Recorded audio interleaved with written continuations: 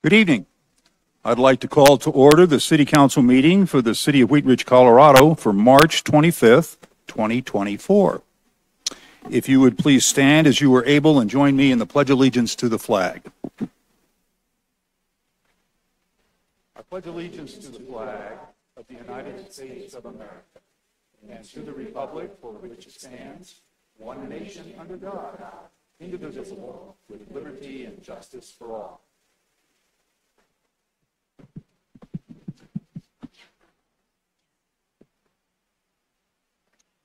Thank you. Would the clerk please call the roll of the members?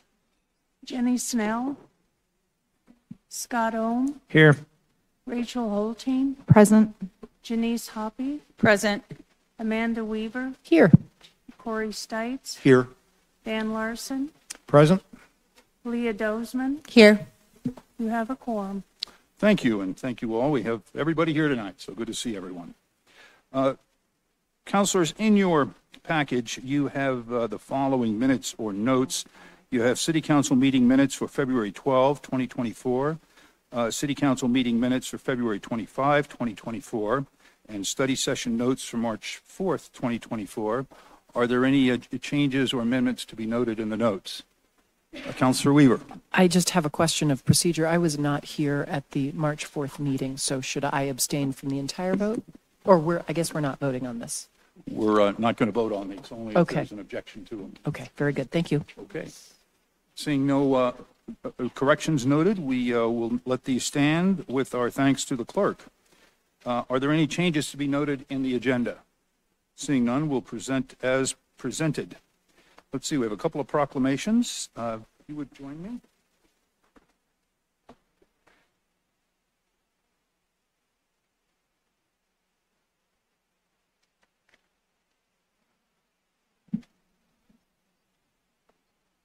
Yes. And I would like to invite uh, Candace Coolidge to join us at the podium.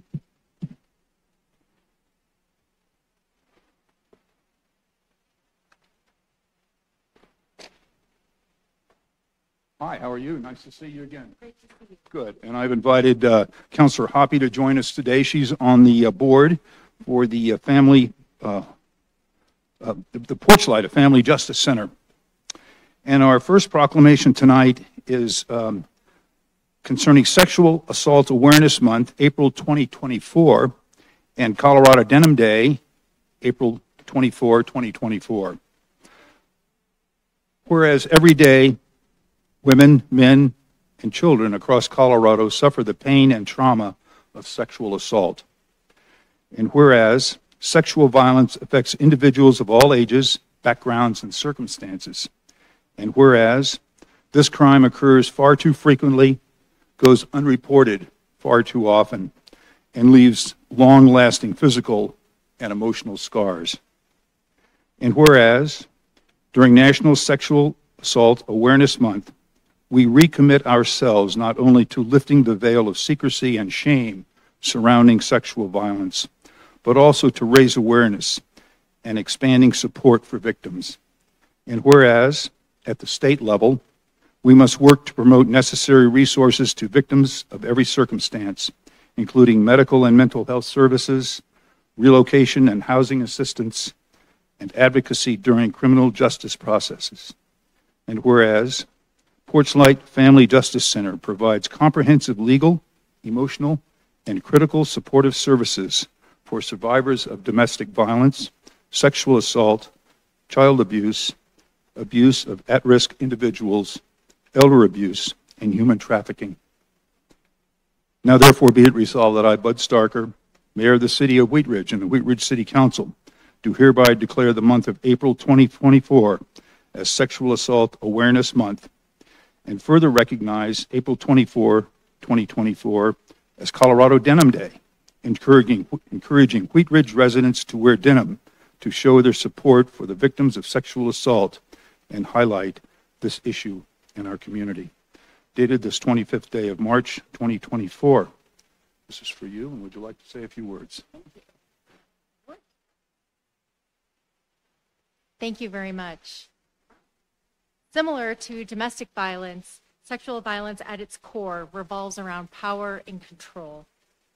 One effective tool we have in our community to support survivors of sexual assault is to provide them with options and resources to empower them to move forward and take control in the way that is right for them. Porchlight strives to improve the experience of those who have experienced trauma and abuse in our community by bringing together community partners to one location where survivors can walk in without an appointment for free and receive services. Services like the Blue Bench, providing comprehensive metro-wide support through their hotline and advocates that are on site at Porchlight Family Justice Center. Services like the sexual assault nurse examiners who um, are also available at Porchlight. They are forensic nurse examiners through our partner, what was St. Anthony is uh, currently Common Spirit Health. Prior to our center, survivors had to go to the emergency room, not a specialized place for sexual assault examinations, but to the ER, where they'd be worried about being charged, long wait times, dealing with the chaos of the emergency room. Now they come to Porchlight. In our community, we are so fortunate to have had the support of municipalities like Wheat Ridge that have recognized there's a better way to support victims in our community. Thank you for your support and recognition of survivors in Wheat Ridge and for the advocates that work tirelessly every day to ensure that we do better. Thank you. Thank you. This is yours. We're going to have a little photo op right here, right now.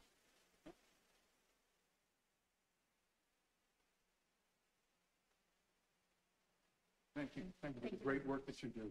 Thank you so much.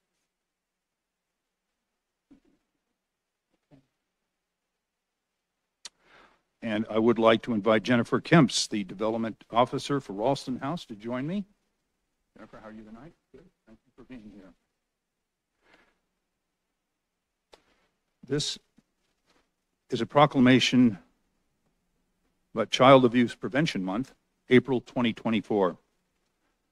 Whereas every child deserves to grow up in a safe, nurturing environment, free from harm and fear.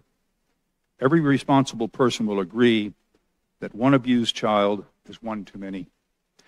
And whereas the month of April has been designated nationally as Child Abuse Prevention Month, we encourage all community members to join in renewing our commitment to learning what we can do to promote the safety and well being of children. And whereas Wheat Ridge has dedicated individuals and organizations who work daily to counter the problem of child abuse and to help parents obtain assistance as they need.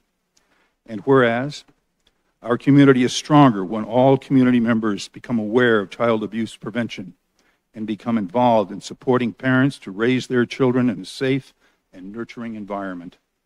And whereas effective child abuse prevention programs succeed because of partnerships among families, social service agencies, schools, religious and civic organizations, law enforcement agencies, and the business community.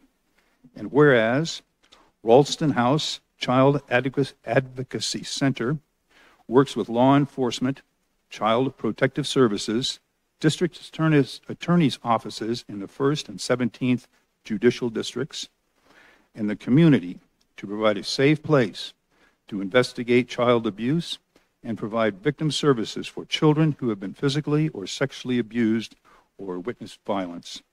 Now, therefore, be it resolved that I, Bud Starker, Mayor of the City of Wheat Ridge, and the Wheat Ridge City Council, do hereby proclaim the month of April 2024 to be Child Abuse Prevention Month, dated this 25th of day, May 2024. Mrs. you. Would you like to say a few words? So thank you so much. Part of this campaign that we're going to do for April is you'll see our blue pinwheels, hopefully all around Jefferson County. I've partnered with a um, Boy Scout who, for his Eagle Project, has chosen to work with Ralston House. So our goal is to put 50 uh, pinwheels throughout the community in Jefferson County. We're partnering with libraries, and rec centers. So if you know of any location here in Wheat Ridge that might be a great place to display a pinwheel garden, please let me know. We are putting one here at City Hall as part of the police department, and the detectives there have partnered with us to make that program well known. Thank you. Thank you for the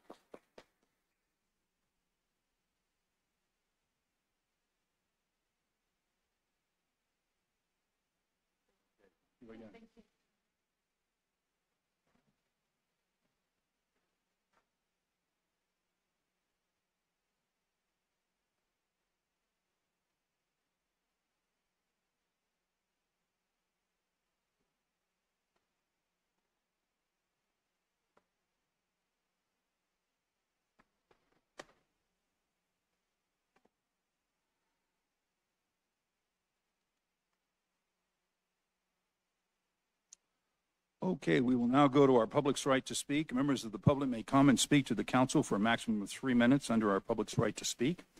Um, I have uh, two uh, individuals signed up here in the council to speak tonight. Um, When I uh, call your name, if you'd please come to the podium and, and uh, give us your first name and your last name, and then you'll have uh, three minutes to, to address the council. And our first speaker is Mr. Scott Peak.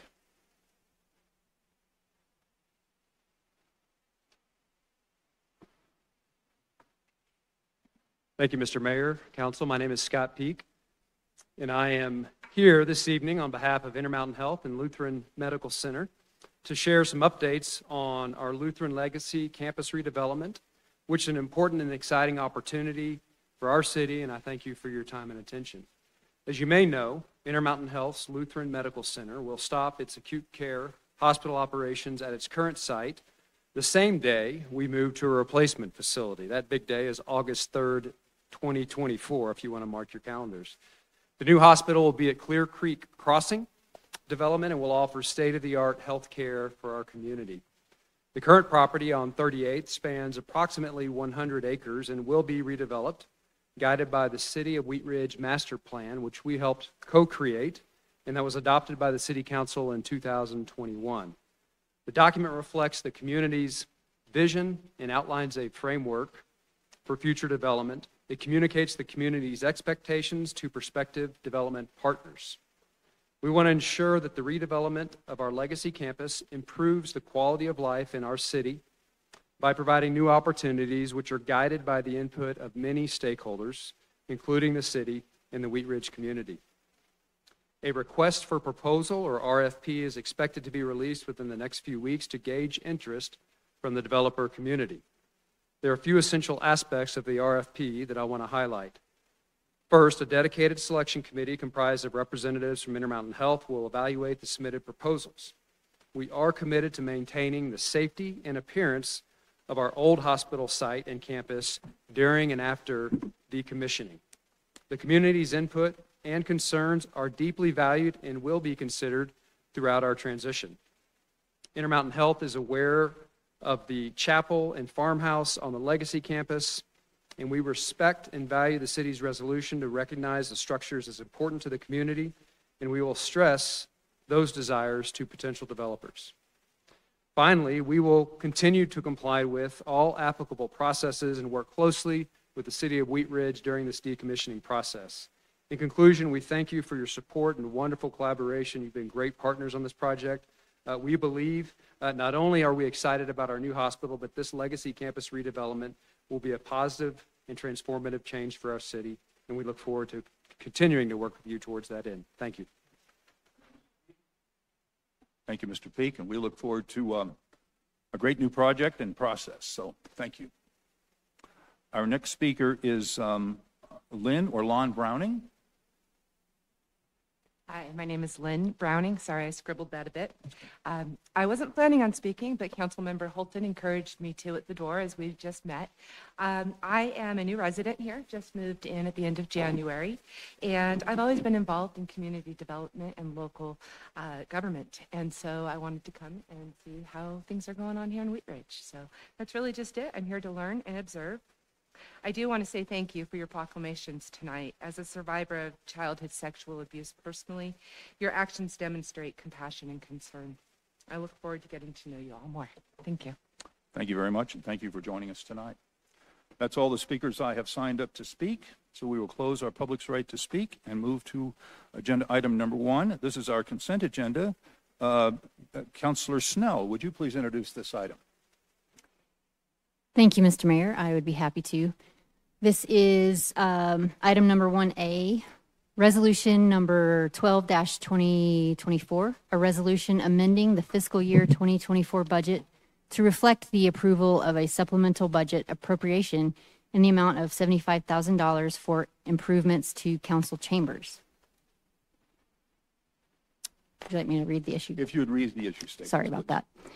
The city receives approximately $27,000 per year from the Public Educational and Governmental Access Channel fee assessed by the local cable franchising authority, Comcast, for costs associated with the channel. Staff recommends some improvements and upgrades to equipment in council chambers so that public meetings can be more effectively managed, presented, and televised. This request appropriates funds restricted for those purposes to make the improvements.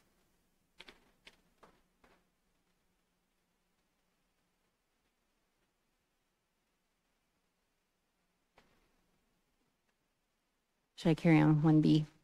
1B. Thank you. This is item number 1B, motion to approve the contract with GovOS for the tax and licensing revenue system in the amount of $95,000 and six- 600 $95,626. In 2021, City Council determined a priority of the city must be to streamline permitting and licensing to assist the business community in working with Wheat Ridge and provide greater customer service. Following a two-year evaluation period of systems and existing business processes, the city has selected five systems to drive efficiency and modernize business practices.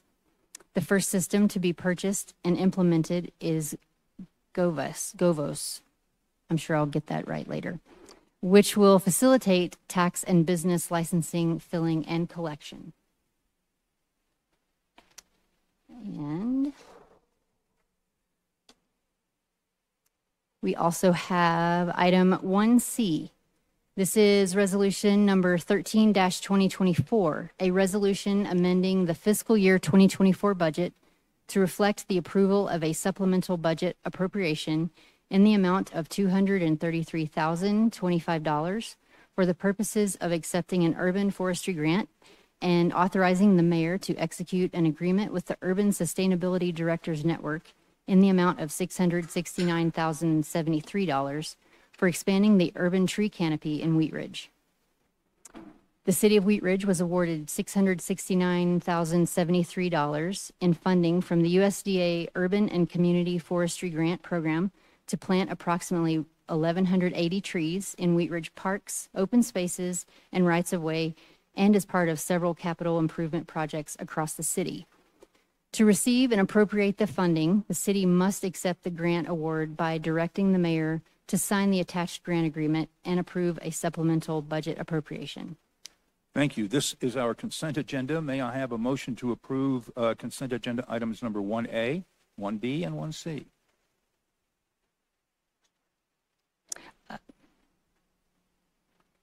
Apologies, sorry.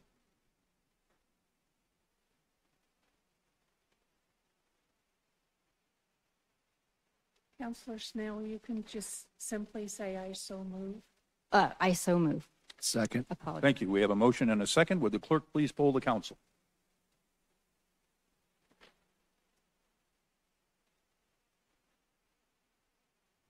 All ayes, no nays, the motion carries. Thank you. We will go to agenda item number two. Counselor Hoppe, would you please introduce this item? Thank you, Mr. Mayor. I'm absolutely thrilled to introduce this item. It's a motion to approve a contract to buy and sell real estate from Jefferson County School for District for the Green at 38th. We're probably going to have a presentation. So uh, this is going to be a resolution of the council. Wants me to read it. Oh. Uh, at issue, staff received direction from City Council in 2018 to engage a designer to develop conceptual designs for a community gathering space at the Green at, on 38th Avenue in front of Stevens Elementary. The final design is now nearly complete, and the construction is scheduled to begin on June 1st, 2024, when the school closes for summer break. Staff signed a non-binding letter of intent with the Jefferson County School District, which set forth the terms under which the district would convey the property necessary for the green to the city in exchange for the city constructing a new parking lot for Stevens Elementary. The terms of the letter of intent have been incorporated into a contract to buy and sell real estate. Thank you. So this will be a, um, a motion of the council. It is not quasi judicial. Mr. Goff, do we have a staff presentation on this item? We do, thank you. That'll keep my presentation even shorter. Very Uh, good. A- As Ms. Hoppe uh, summarized, uh, the Jeff- Jefferson School District has agreed uh, to convey the property necessary for the Green Project, which you see on your screen here um, tonight, um, to the city in exchange for the city constructing and paying for the school parking lot, which is estimated at just under $1.4 million. Your next item on the agenda is to approve a contract for the parking lot. The city will own and maintain the green, which is approximately 1.6 acres, and the school district will own and operate the parking lot. The contract requires several things. One is that the city um, will cause the property to be separately platted from the parking lot um, within 90 days of tonight's approval. That process is underway. The contract requires that the city enter into an IGA with the school district to memorialize uh, these conditions in the contract and stipulate shared use parameters for the parking lot in the future.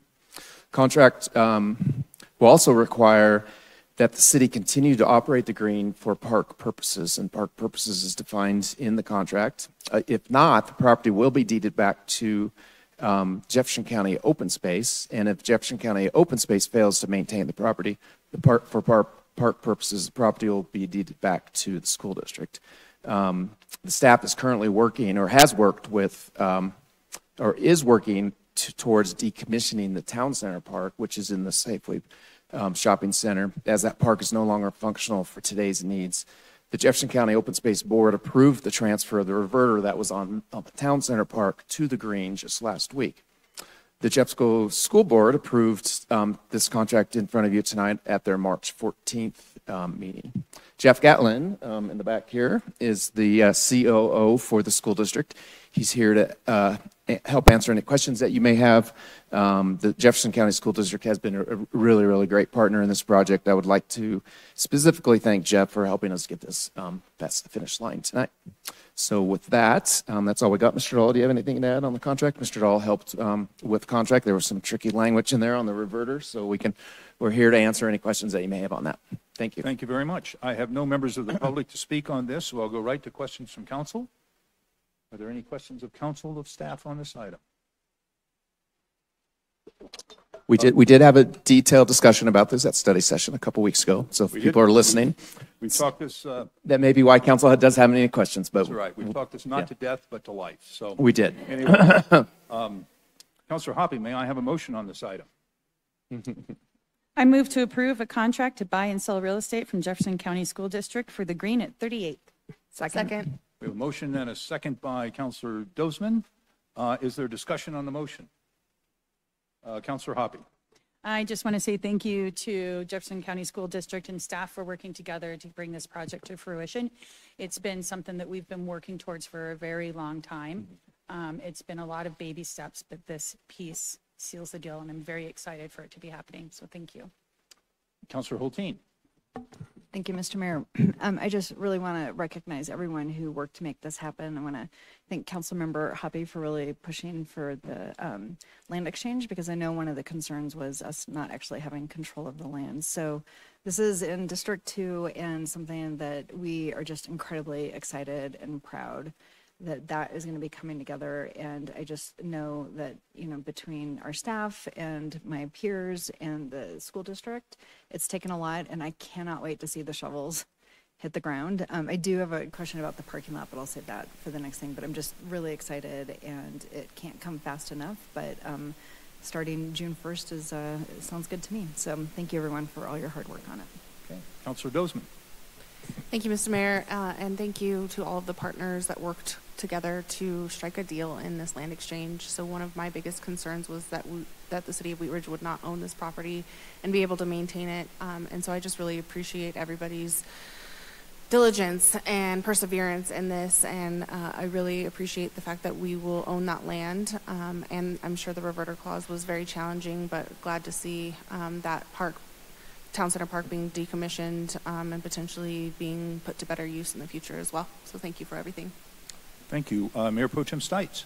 Thank you, Mr. Mayor. And I also want to thank staff and, and thank Jeffco for, for their hard work with this and uh, uh, Councilor Hoppe especially, but uh, everybody on council who's, who's supported this all the way through. Um, and this is kind of an example of making sure that you stay in that conversation for a long period of time because this has been one of those projects that's kind of gotten better and better and, and, uh, you know, a lot of people probably would have ended this a long time ago. So um, it's glad, I'm glad that we stayed in there and as a business owner who has a, a lot of gatherings. I'm excited to use this space and, and really try to activate that and, and drive businesses to, uh, or drive more business out to 38th and, and uh, strengthen our tax base. That's what it's here for. So thank you.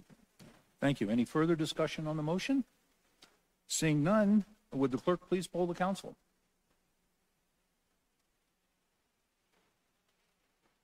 All ayes, no nays, the motion carries. Thank you very much. Uh, With that, we will turn to agenda item number three. Uh, Counselor Ohm, would you please introduce this item? Thank you, Mayor. Motion to award the green at 38th Project Phase 1 Stevens Elementary Parking Lot Replacement to ECI Site Construction Management Incorporated of Loveland, Colorado, and approve subsequent payment in the amount of $1,386,590 at issue. A project to create an urban park along 38th Avenue between Upham Street and High Court was budgeted several years ago. Staff recommends awarding a contract to ECI Site Construction Management Incorporated of Loveland, Colorado, an amount of $1,386,590. This contract is associated with the first phase of construction, which includes the Stevens Elementary parking lot. Thank you. This will be a motion of the council. It is uh, not quasi judicial. We have a staff presentation on this item. Again, very short. Um, we did talk at length about this a couple weeks ago, but um, as Mr. Ohm said, the inception of the Green Project uh, started many years ago, back in um, as far back as 20, 2005 with the neighborhood revitalization strategy, and it's been supported ever since in, in many many planning documents, um, really to help create a sense of place in Wheat Ridge. Um, Consensus was reached back in 2018 by council to move forward with the community engagement process. There was a lot of community engagement. I'd like to thank Brandon Altenberg of our Parks and Rec Department, who really um, took this project under his wing and reached out to the community, the school district, um, the parents, the kids, um, to get their input on this on the design process. We've now reached that final phase and are scheduled to cons- start construction June 1st, as Ms. Hoppe, or um, Ms. Um, Hultin mentioned. Um, and second phase will start shortly thereafter, once the, once the parking lot is done. The parking lot has to be done in time for school to open by the 1st of August of this year. Um, And again, you can see the illustration on the- your screen here. It's a, it's a really a, an events, event park, uh, a park for, for passive use, for people to take their kids, to have lunch. Um, So you can see there's going to, on the west end, there is a very um, a nice, significant, significantly sized stage and outdoor classroom that the school can also use. Um, we'll have many of our events there. Festival promenade that runs across the park um, for food trucks and um, event tents and other other things that um, you'd see pop up in a park. Um, community gathering space that has some tiered seating structures, fire pits, ping pong tables, cornhole and lounge seating, a playground, and another uh, seating area with um, game tables and crusher fines. And uh, so, really, a diverse park that can be used for many different purposes. So, very excited about the final design. And it will also improve the streetscape along 30th Avenue um, from Upham to High Court, essentially extending what was, was, was built in front of the apartments at 38, um, uh, the 38th Avenue apartments just next door. Um, the project was uh, originally seeded um, clear back in, in 2017, I believe, 2018, with about $900,000 from the general fund to start the community engagement and design process. Total design costs to date um, are 522000 The total project budget um, with design is estimated at about $7.6 million. Um, as I mentioned earlier, Brandon Altenberg with our Parks and Rec Department has um, acquired, um, I don't have the number in front of me, it's in your packet, but close to $3 million worth of grants. Um, I think since we met last, we did just receive confirmation that we did receive another $250,000 grant from the um, Colorado Department of Transport, or CDOT, right? Is it CDOT? Yeah, CDOT grant. So very happy about that. Um, Ted Johnson, um, our construction manager, general contractor with ECI, is here this evening. If you have any questions, um, he can help answer any of those. But with that, we'll open up for questions. Okay, thank you very much. I have no members of the public signed up to speak on this item, so we'll close our public's right to speak and go to questions from council. Councilor Hultin. Thank you, Mr. Mayor. Um, So I'm looking at the, the pedestrian crossing element of the, of the parking lot. And I'm wondering if there are plans for that to be an elevated crosswalk that has the little bit of hump that forces the cars to slow down. Um, There are increasing, just really horrible stories of kids getting run over in parking lots because they're just smaller than the big trucks. Um, and those those elevated humps just require cars to drive slowly through there. This is now a pretty long, elongated um, parking lot, and which would, you know, when it's not completely backed up with drop off and pickup line, which we're all familiar with, it can be a nightmare. Um, but that's just an extra safety enhancement to ensure that cars are driving at a, a safe and respectful speed. So um, I'm just wondering if that is part of the design and plan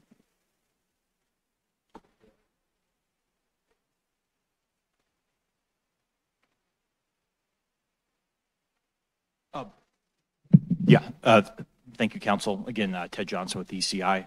Um, Specifically related to that, I do know, um, as far as visualization effects, we do have um, colored concrete.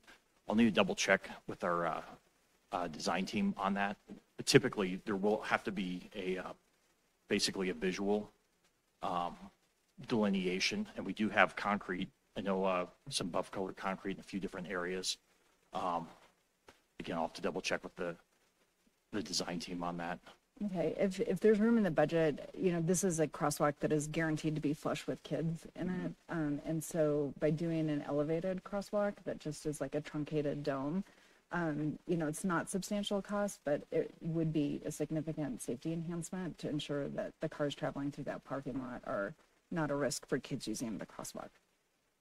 Yeah, I'll go and, uh, uh, I'll double check with our, our team. I do know there's a contingency carried within this as well. Um, I would be, su- I- our past experience, I'd be surprised if there wasn't a delineated and or raised, um, curb specifically in that spine right there. Okay, great, thank you. Uh, Councilor Hoppe. Thank you, Mr. Mayor. It's actually not about the parking lot, but it just kind of dawned on me, like the community, the community gathering space, would that be, would that be something that our community would be able to like rent, kind of like how they can rent our pavilions in our other parks or reserved?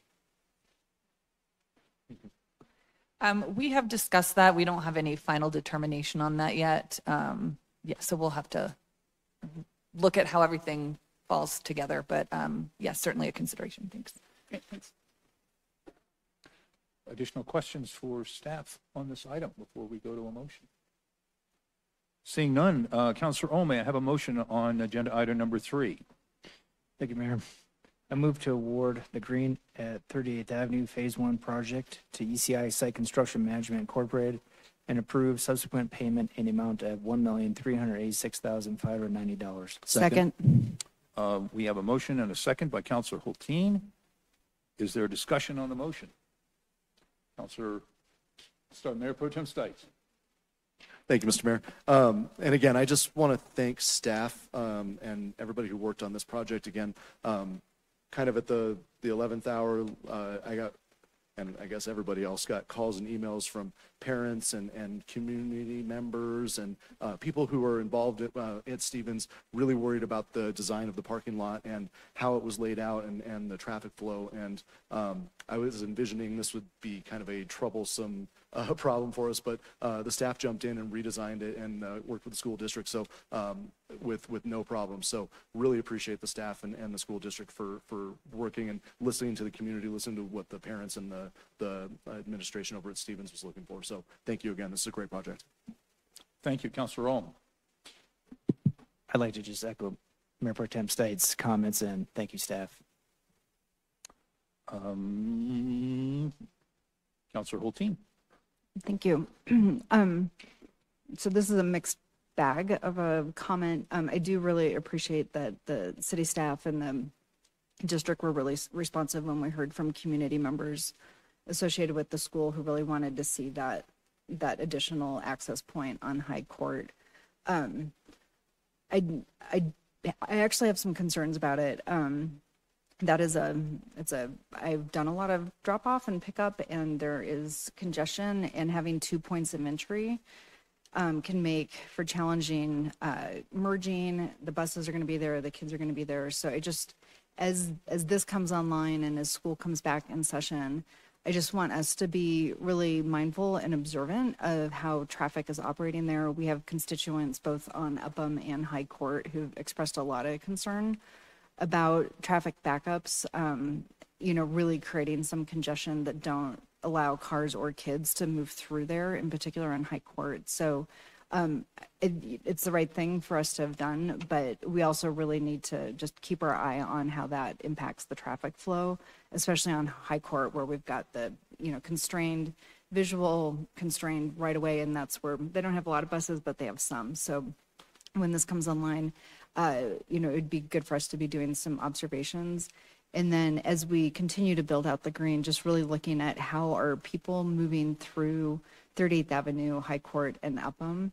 And, you know, what kind of safety enhancements do we have to do to make sure that people are, are moving safely through there? Because a lot of them are little people. Um, so just want to register that, that now. And um, I know we do a good job of that, but um, I've really put a lot of thought into it and actually sat and kind of watched some traffic behavior through there without the curb cut and it's um, it's gonna it's gonna create some behavior issues so we should be mindful and observant of that when the time comes thank you Uh, Thank you, Counselor Snell.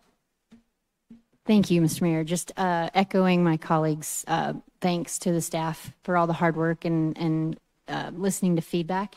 Um, I also want to recognize the several community members that did reach out, as um, Mayor Pro Tem Stites uh, mentioned about the traffic patterns. And, and yes, that I, I agree will be a concern, but also um, I received some requests um, to preserve as many trees as possible, being a tree city.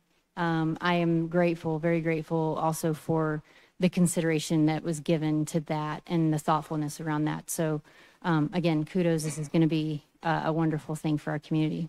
So thank you. Thank you. Uh, Counselor Weaver. I simply wanted to echo that sentiment as well and thank everyone for their work on this. Um, But if we can preserve as many of those mature trees that we have growing there, it would be really lovely since they are interesting in shape and size. Thank you. Okay, I see no more discussion on the motion, so would the uh, clerk please poll the council? All ayes, no nays, motion carries. Thank you. That will bring us to agenda item number four. Uh, Counselor Weaver, would you please introduce this item?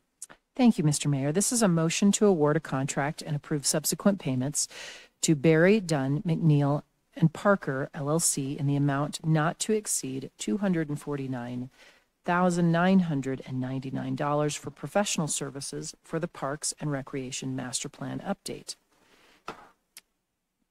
Why don't you go ahead and read the Okay. issue statement? At issue, the city has determined that it is time to update the, par- update the Park and Recreation Master Plan.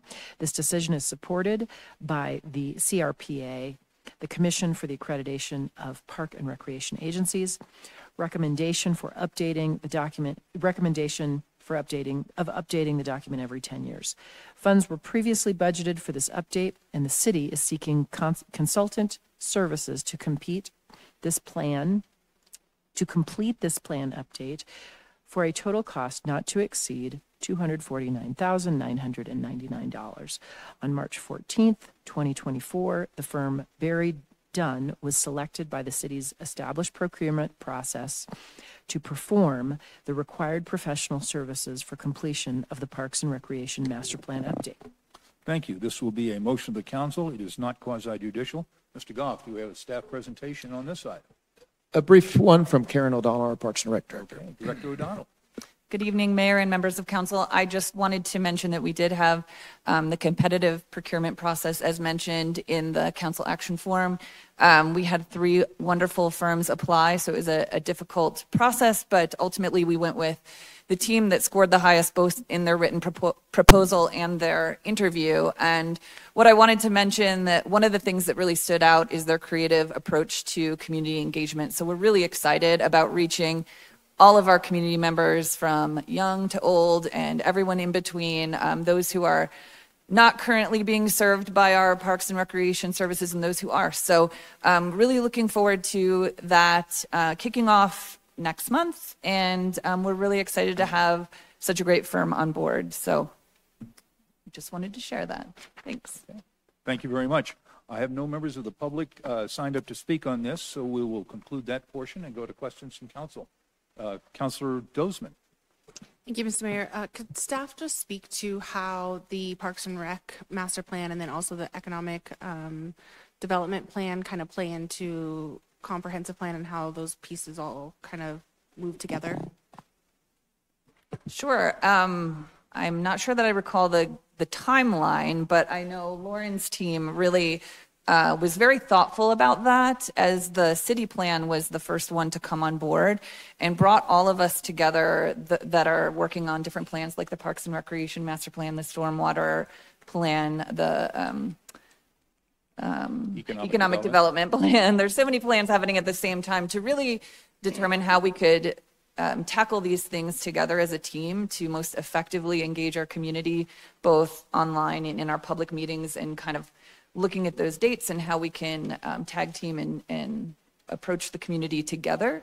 Uh, so we're really looking at it collectively, but ultimately there's different goals and outcomes to each plan that we're we're seeking to achieve. So for Parks and Recreation Master Plan, it's really like the legacy. What does the next 10 years look like for our community, and what are those priorities? Yeah, and this is really just to add to that real quickly. Um, Karen did a great job explaining that, but this is kind of phase two of our Let's Talk program. Um, let's let's talk stormwater, let's talk trash, let's talk parks, let's talk parks, let's talk sustainability. So um, it's it's a continuation of that engagement process that we had. Thank you. Additional questions from staff, for staff? Uh, Seeing none, Councilor Weaver, may I have a motion on this item?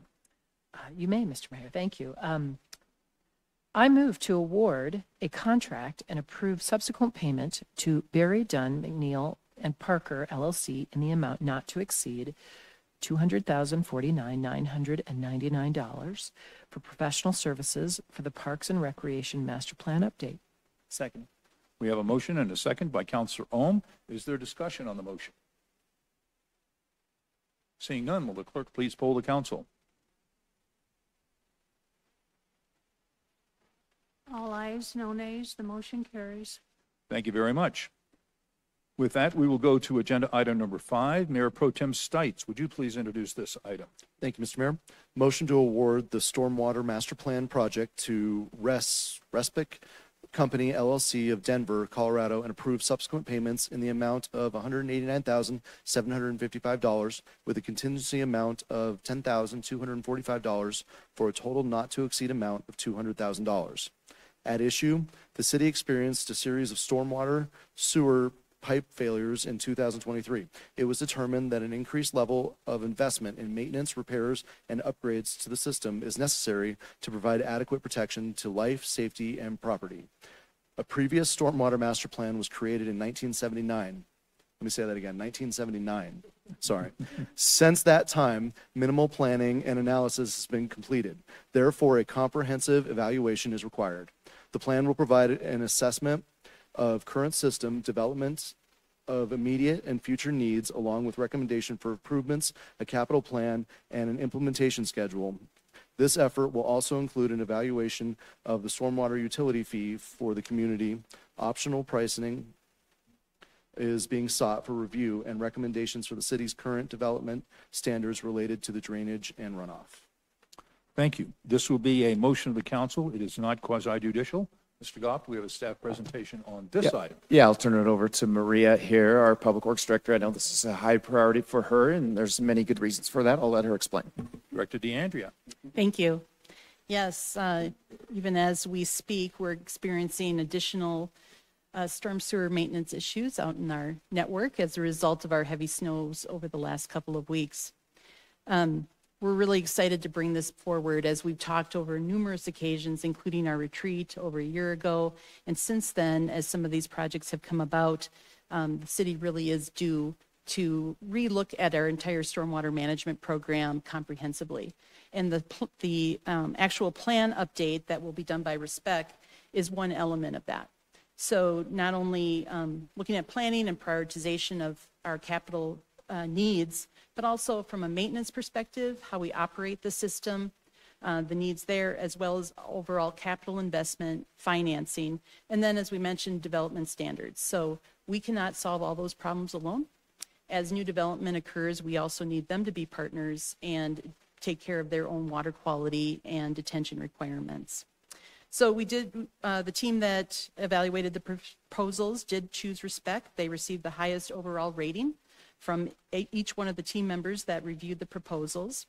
And they prepared more than 30 other stormwater uh, master plans for other communities along the Front Range and throughout Colorado.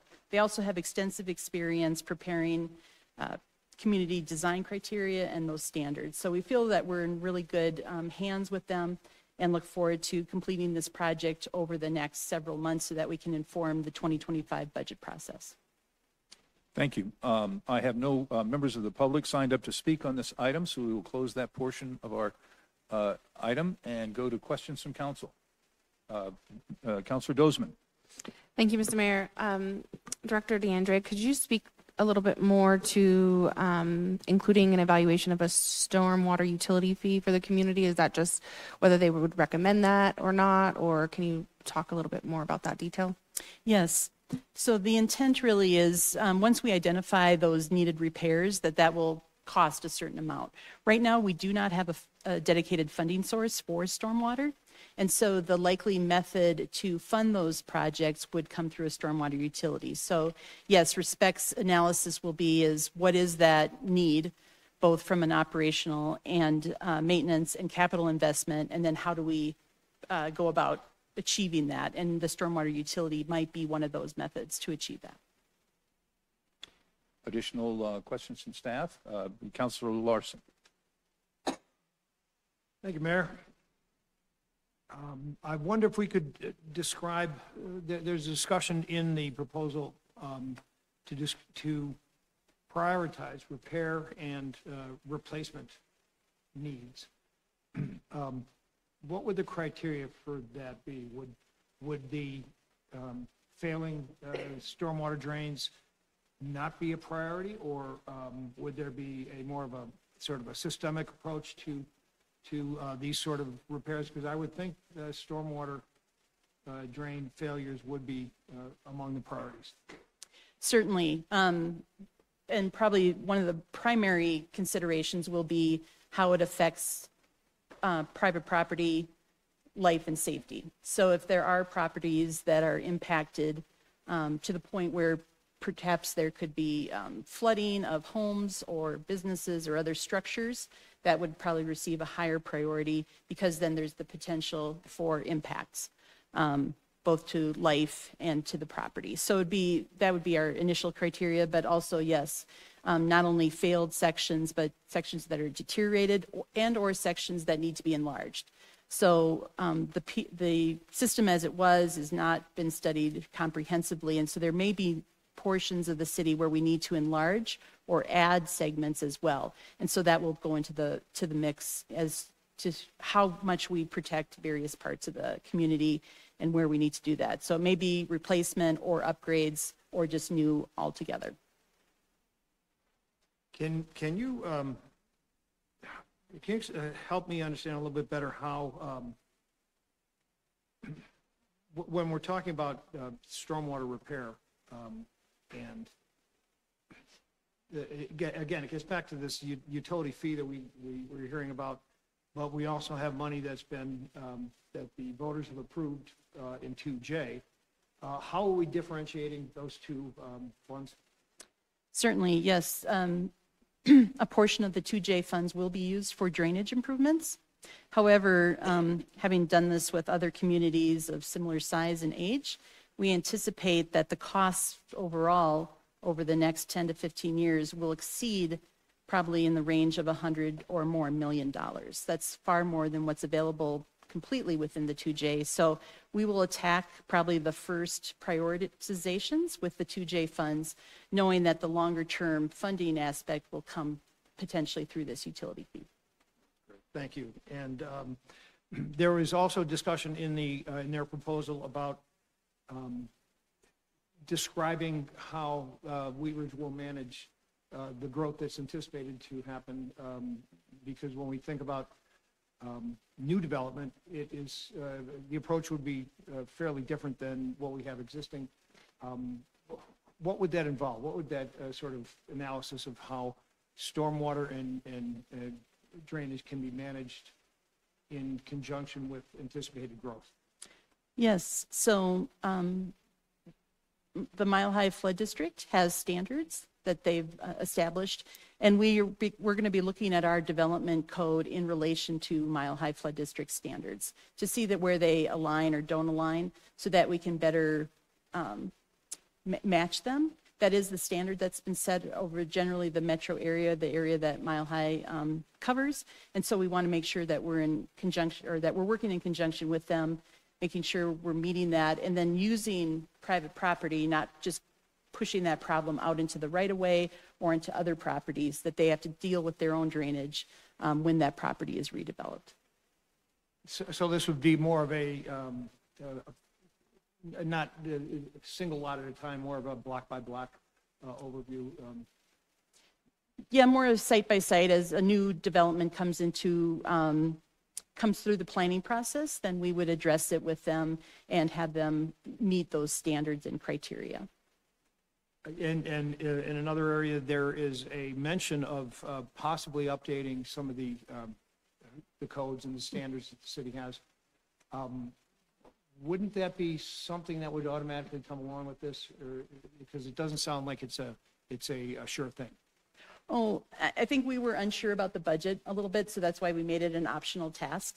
Um, we were going to try and attack that internally, maybe. Um, this allows us with some very key expertise who have done this before, and we were able to match or able to um, achieve that within the allotted budgeted amount. So we're going forward with that. Th- th- That will be included then? It- it will, Oh, good, yes. Good, That- that's certainly good news. And then um, the, th- there's mention that uh, th- these, the contractor um, Respec is uh, very familiar with, and they have a lot of success with uh, community outreach and, and um, sort of taking the pulse of the, of the public. Um, I, I, I don't know, I, I guess I'd, I'd have to see that to believe it, um, knowing how surveys can sometimes, um, not adequately uh, fulfill what their, their, the goals are, but, um, it, it does sound like that, that at least that's, that's part of what they're proposing. Yes, um, we'll be utilizing the What's Up Wheat Ridge page. So instead of creating something new or different, we want to drive people to that page that they may already be familiar with that has the opportunity to give feedback, um, allow for surveys and other project data to already be placed on there. And we have collected um, over the last several years, you know, when we've had larger rain events, we've received a lot of phone calls and emails from staff or from various citizens about problem areas. And that will be one of the focus points is making sure that we're following up with them, um, that we're addressing all of those to determine, um, so that they don't need to reach out to us again, I guess. Right. And, and I, I would, yes, I would encourage um, that sort of outreach, because we, we know where the problem areas are. Um, So I would think that if there was some way to, I'm not saying knock on doors, but, but at least uh, contact a a representative sample of people in that neighborhood uh, that have had experience with, um, with stormwater issues. Yes. uh, And get that sort of real-life uh, experience. Yeah. Uh, That's all the Thank you. questions I have, Mayor. Thank you. Uh, Counselor Weaver. Thank you, Mr. Mayor. Um, I just want to go back a little bit and just make sure, um, because uh, I- I have one of these properties and there are many in Wheat Ridge that have no stormwater drainage. And um, so there's no one to call when, you know, I go out with a hoe and open up the um, conduit underneath my driveway, or I have a flooded house. And I just wanted to make sure that in the gathering of information, do people like me need to say, hey, I don't have any drainage? Or is that going to be prioritized that people who have no drainage are looked at? Because in, in other words, I'm not calling the city because there are no pipes to complain about. Sure. And, um, and so it, it's, and I, and I know I'm not the only one in that situation. So I'm just curious how you will prioritize those properties who are not necessarily knowing that they even have a drainage, I mean, they know they have a drainage problem, but they're, they're not understanding that this is part of a larger plan. Can you just speak a little bit to that? Thank you. Certainly. Yeah, so um, I think the way that we word that and how we do that outreach, so we'll be involving our communications team um, in that. I think, you know, uh, one of the reasons we also chose Respec was that they have a lot of experience with ditches. So that can pose its own um, unique challenges, as we talked about in that utility uh, presentation we did a, several months ago. So I think um, anytime, you know, that there is flooding of property, we want to make sure that it's not really, doesn't need to be tied to storm sewer. That may just indicate the need for storm sewer. So it's really about, is it impacting your property? Is it impacting um, you in some way that we want to hear from you? And then we, we will figure out um, through engineering methods to determine what's the right solution to solve that and how we go about prioritizing those repairs. Again, whether we need more pipe, new pipe, larger pipes, or some other method to address that. I just want to follow up with one quick question. So will those people have to reach out or will you actually go through the GIS and look at who doesn't have Hmm. stormwater? Thank you. Yes, they, they have, um, they can do a very, and one of the aspects is this hydraulic and hydrologic um, mapping that they'll do. It's pretty high level, but we can use data through, again, the Mile High Flood District to look at that from a pretty high level to identify where there's the potential for flooding. Now, that's not down necessarily to each individual property, but general areas where we can start to say, hey, there's something going on here because they have elevation data and they have rainfall data and they've already done some of that work. So they'll be looking at that more specifically, yes. Thank you. Additional questions from uh, staff or council of staff? Seeing none, uh, Mayor Pro Tem Stites, may I have a motion on this item? Thank you, Mr. Mayor. I move to award the Stormwater Master Plan project to Respec Company LLC and approve subsequent payments in the amount of $189,755 with a contingency amount of $10,000, 240, or $10,245 for a total not to exceed amount of $200,000. Second. We have a motion and a second by uh, Counselor Hoppe. Is there discussion on the motion? Uh, Counselor um, Larson, thank you. Uh, Thank you, Mayor. Uh, And uh, if, calling something overdue, I guess would be an understatement here. Uh, This, uh, I'm, I'm so glad that this thing is, is getting off the ground. I know that when, when I was out before the election and knocking on doors and talking to some of my neighbors, um, and you could see in their eyes the, um, the concern they had of, uh, they've seen it happen, they've seen it happen over and over again, and, and uh, they really want uh, the city of Wheat Ridge to do something about this. And it sounds like we are moving in the right direction. Uh, Mayor Pro Tem Stites. Thank you, Mr. Mayor. Um, I want to kind of echo what uh, Councilor Larson just said. I believe that the last time that this plan was updated, my grandfather was the mayor. So, um, that was a long time ago. Um, and I wasn't born yet, by the way. So, um, so that's a, that's a long time. Um, and last year, I think we saw directly in District Three, District Four, and District One, just off the top of my head, um, what, uh, this has kind of led to. So this is something that we really need to tackle and, and get working on. So thank you for staff for bringing it forward and, and I hope we get this done quickly. Thank you. Seeing no more discussion, will the clerk please poll the council?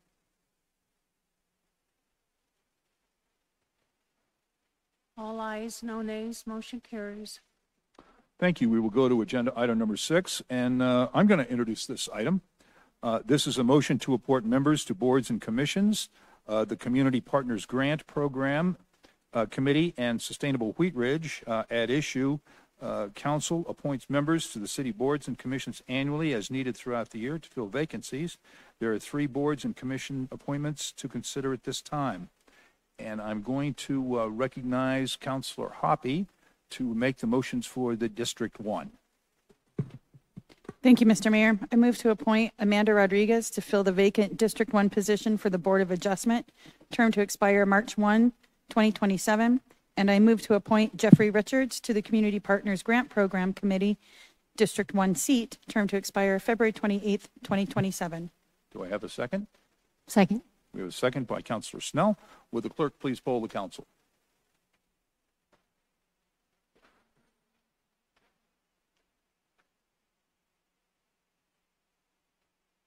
I'm sorry.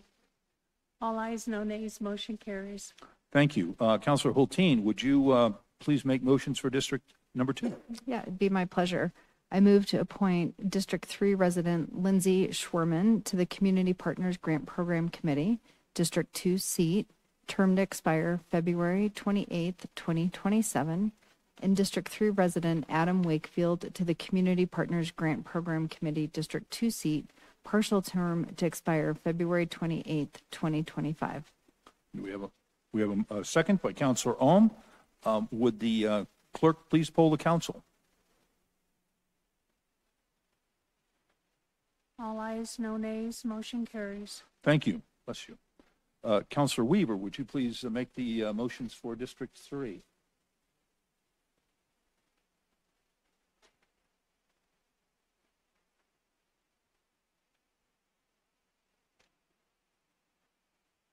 I move to appoint Ryan Sch- Schwerman, Schwerman to the District 3 seat of the Sustainable Wheat Ridge Committee, term ending February 28th, 2027. Second. We have a motion and a second. Will the clerk please poll the council? All ayes, no nays, motion carries. Thank you. Uh, Councilor Dozeman, would you please introduce the uh, motion for Districts Four? Yes, thank you, Mr. Mayor. I move to reappoint District 1 resident Brendan Kelly to the District 4 seat of the Cultural Commission, term to expire March 1st, 2027. And I move to appoint District 3 resident Rio O'Neill to the District 4 seat of the Community Partners Grant Program, term to expire February 28th, 2027. Second. We have a motion and a second. Would the clerk please poll the council? All, all ayes, no nays, motion carries. Thank you. And uh, Councilor Ohm, would you please uh, make the motions for Sustainable Wheat Ridge? Thank you, Mayor. Move to ratify the staff nominated appointments of the Sustainable Wheat Ridge Committee as follows. Reappointment of Betsy Kopic of District 3 for an at-large position, term ending February 28, 2027. Appointment of Mike Stewart of District 2 for an at-large position, term ending February 28, 2027. Appointment of Connor Denton, non-resident representative for an at-large position, term ending February 28, 2027. Appointment of Amanda Birch of a District 2 for an at-large position, term ending February 28, 2027. Appointment of Sarah uh, Punacino of District 2 for an at-large position, term ending tw- February 28, 2026. Second. We have a motion and a second by Councilor Hultin. Would the clerk please poll the council? All ayes, no nays, motion carries. Thank you very much. That will bring us to agenda item number seven. Councilor Dozeman, would you please introduce this item?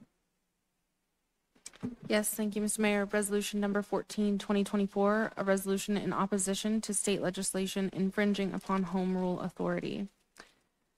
At issue, the city's home rule authority was adopted by its voters in 1976 and is enshrined in the Colorado Constitution.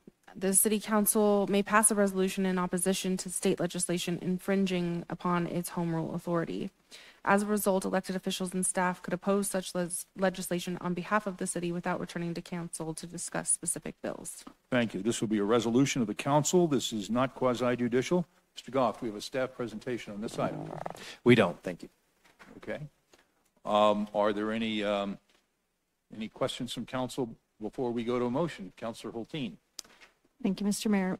Um, Reading through the resolution, uh, one of the things we discussed is this is an automatic authority to take position on bills based on a singular aspect. And it is always possible that a bill we would otherwise support if, if, but for the home rule issue, such as like the ADU bill, um, if the home rule infringement were to get amended in the bill, um, is that, would staff be looking at possibly bringing bills back to us that we uh, previously took an opposed position on? Yeah, I, I, I don't see this resolution as given um, um, direct authority to oppose or deny any bill. I think there's nuance. Every bills are nuanced a bit, and I think if we're not 100% comfortable um, making a position, um, we're going to come back to council. Um, and if bills get amended all the time, as you mentioned, so I think it's going to be a bill by bill case, and to, to determine if we need to come back or not. Okay, thank you. Any other uh, questions before I go to a motion? Seeing none, uh, Counselor Dozeman, may I have a motion on this item? I move to approve resolution number 14, 2024, a resolution in opposition to state legislation infringing upon home rule authority. We have a motion and a second by Mayor Pro Tem Stites. Is there discussion on the motion?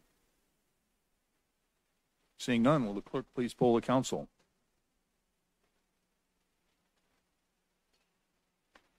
All ayes, no nays, the motion carries.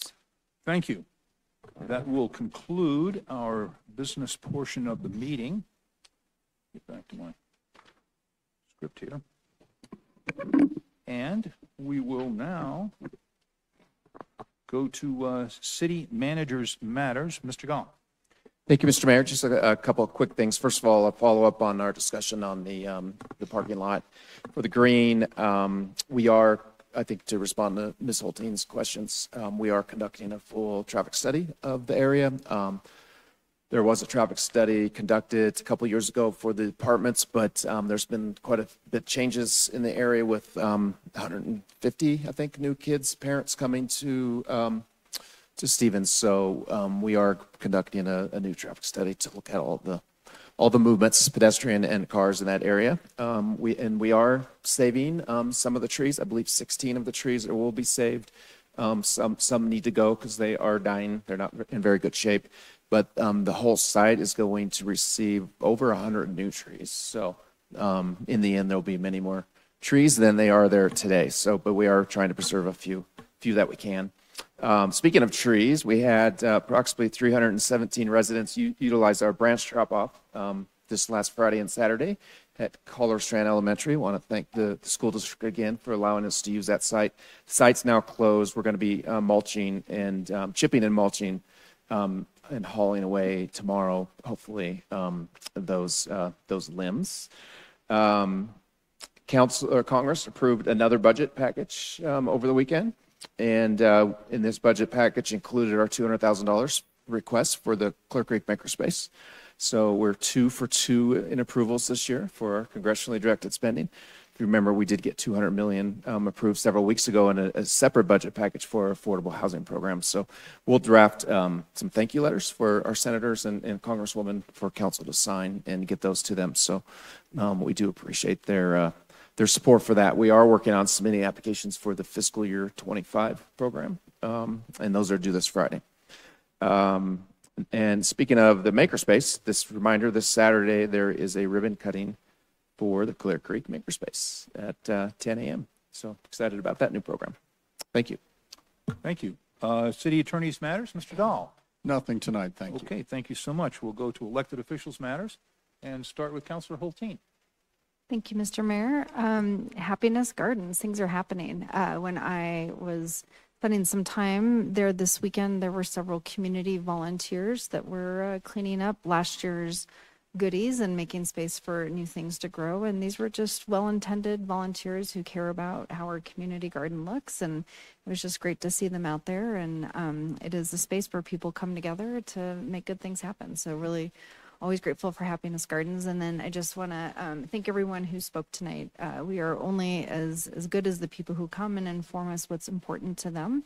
And uh, I remember back when I was not on the dais and I was in the peanut gallery and I was just always impressed with how warm and welcoming these chambers were. And in Wheat Ridge, when you come and share your thoughts, uh, it's an attentive audience and we listen and we make things happen. So I just appreciate the civic space and uh, it's good to be here. And that's all I got. Thanks. Thank you. Uh, Councillor Snell.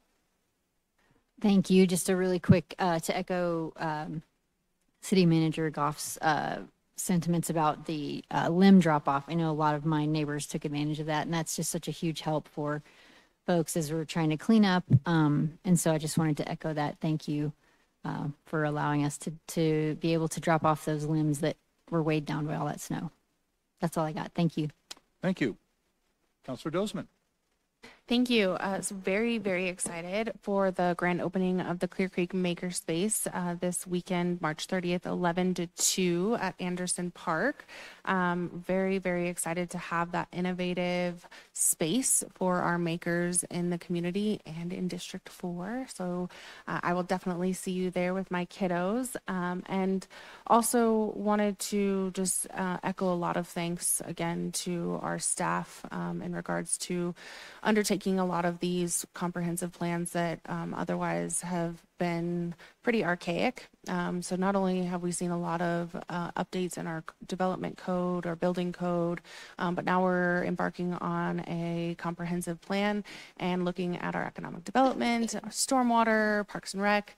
Um, so it's just a really, really amazing time to be in the community. And I want to encourage everyone to come and have your voice heard, stay a part of those conversations. Um, as Councilmember Stites had said, you know, some of these conversations take years um, to come to fruition. And so I really appreciate everybody's um, engagement and involvement. And I think the city has done a wonderful job at reaching out and getting public input um, throughout all of these processes. And, and I've really been um, inspired and, and grateful for the way the community has showed up and uh, given their voices to how we want to see policy move forward in the future. So thank you.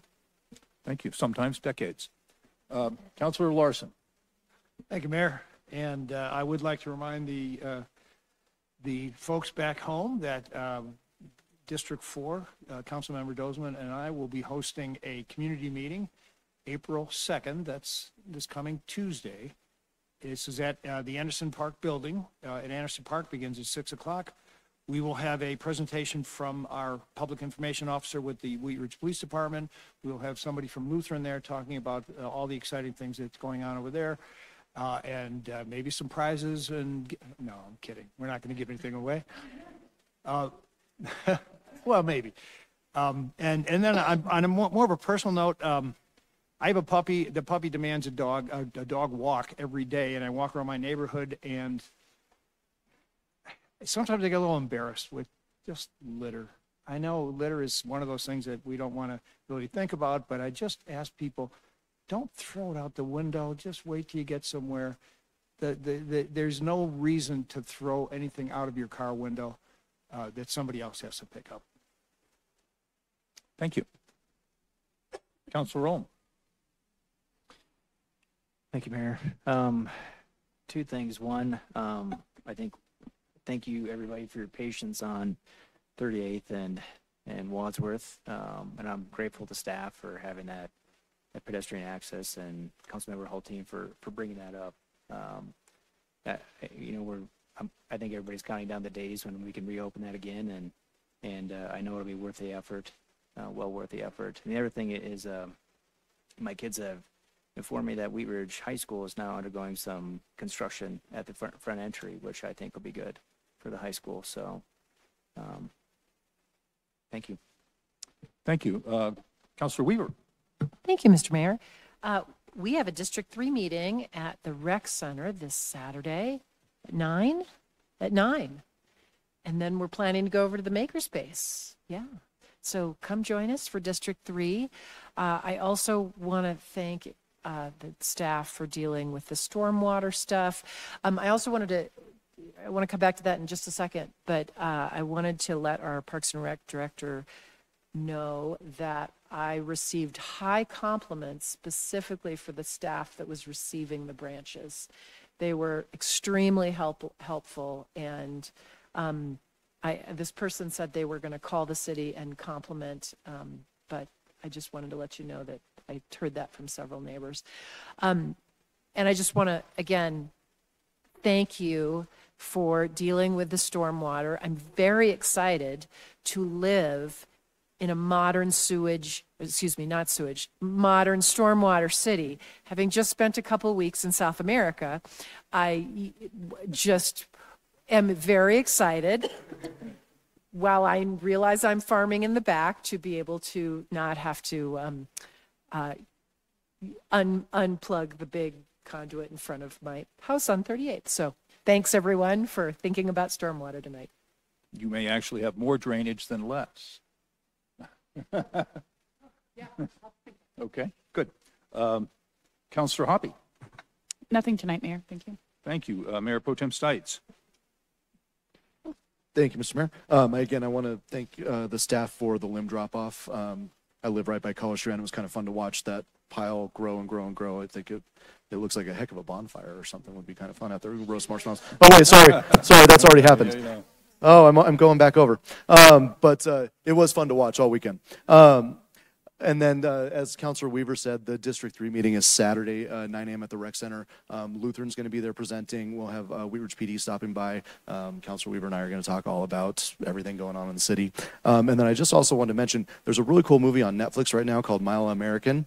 Um, people who went to Texas love it because it's a great story about a Texas kid, but it's really a story about a kid from Wheat Ridge, and there's some great scenes from Wheat Ridge. Uh, but Freddie Steinmark, which is the uh, Freddie Steinmark Award given out every year, um, was a Wheat Ridge student, and uh, it's a fantastic movie. You will bawl at the end of it, um, absolutely bawl. But uh, um, fantastic movie, great scenes from Wheat Ridge in there too. So check it out. Thank you. Um, I'd like to take a moment to uh, recognize a Wheat Ridge business that's been here a long time. Beauty Inc. is a hair salon located at 44th and J, and they're celebrating their 60th anniversary this week.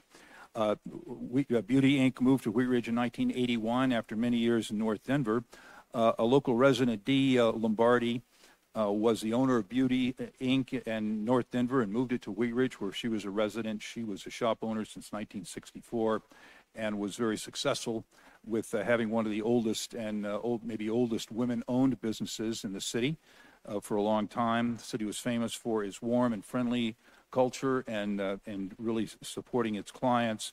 Uh, they had over 40 stylists through through the six decades, and uh, Dee sadly passed away in 2021, and her children have run it run the business until now. But now it's time to close the business, and they just wanted to uh, have a have a really a word of, of thanks for her and, and her contributions to our community. So thank you very much to Beauty Inc. and uh, Dee Lombardi. Uh, I got to say, I was at the Easter egg hunt at Anderson Park on Saturday, and if you haven't been there, that's one of the best events that we put on in the year. There, there's so much excitement and activity, and and uh, people just having a great time from, from you know, you you're still swinging in your mother's arms uh, through through the great grandparent phase, and a lot of great stuff. I want to really thank the staff that we had there. We have really an engaged Parks and Recreation Department that really put that on, and and uh, Director O'Donnell's here, and you did a great job. And I'll tell you, I just I used to get my my my lips hurt from the amount of smiling I do. I want to I want to tell you that. So anyway, that's it was great. Uh, I want to. Uh, I'm really excited that we've got the the green at 38th going forward. I, we've got our contractor here, and I want to really wish you a lot of success and and good hard work to get that done for us. We're really looking forward to that. As you can tell, it's been a long time in the making. Speaking of making, we've got the makerspace open, and I want to give a really a shout out to Local Works. I think they've really done a great job, not only on this project, but on a lot of things going on. They've got great leadership, and I want I want to really recognize their uh, their contributions to our community. Uh, I want to uh, thank uh, Scott Peak for coming in and talking to us tonight about what's going on at the Lutheran Legacy Campus. This is a huge opportunity for our community to uh, to really look at the next chapter. You know, we're doing these planning studies now to to set the framework for the next chapter. If you've heard that before in our uh, in our city's history, and we've really got a lot of great energy and great people running that, running those uh, organizations and and uh, programs, and it's really um, it's it's really up to our citizens to come and tell us what you want it what you want in our plans. It's really we want to be open and transparent and seeking input because we we make better decisions when we listen to all sides of the of the of the opinion. So, uh, thanks very much for for bringing that forward. Um, We have a special study session that's going to happen upon adjournment on, of this meeting, and we will be back here next week, I believe, for a um, study session. So if there's no uh, more business to come before council, we will uh, stand adjourned and just take about uh, five minutes break, and then we'll go into our special study session. So thank you all very much.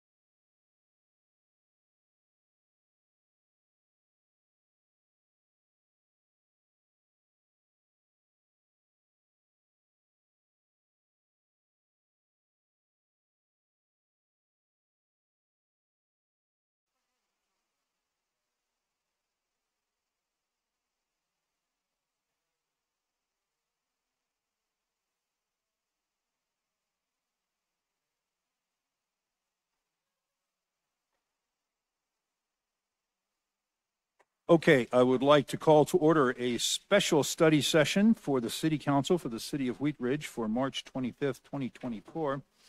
Uh, We have uh, two uh, action or study items on our agenda. Number one is land acquisition process for the Ward Transit Station area, pedestrian bridge and trail. And item number two is a 2024 building code update. Uh, I have no one signed up to speak from the public, so we will move past that on our program and go to Mr. Goff. I'm going to turn it right over to Maria D'Andrea, our Public Works Director. Okay, Director D'Andrea. Yes, thank you. Mayor and City Council, so we're going to just do an informational session for the most part tonight and talk about land acquisition. So this project has been um, uh, in front of council before, but we do have some new council members um, over the past few years. This was kind of uh, brought up initially back in 2019, so here we are five years later. There was a period where we put it on hold during the COVID uh, period, and now we're, we're reinvigorating it, starting it again, and moving towards construction. So the land acquisition process, we want to familiarize all of council with that because there may be a time when we need to come back where we have some difficult parcels that we cannot acquire, and we may need to move to more extreme measures uh, when we do that. So tonight, again, is just about kind of giving you an overview of the project and how the land acquisition process will lay out. This slide just shows you a little bit of the project overall. So the green there over the railroad tracks would be the pedestrian bridge that we will build. So that will land on the north side of the, of the tracks um, near the existing drop-off and RTD transit station. We'll travel to the south. There'll be another landing point on the south side there of 49th Avenue. And then the red depicts the, the trail that will be built down to the I-70 frontage road where we'll construct a marked crosswalk with a raised median and the pedestrian um, beacon flashing lights at that location.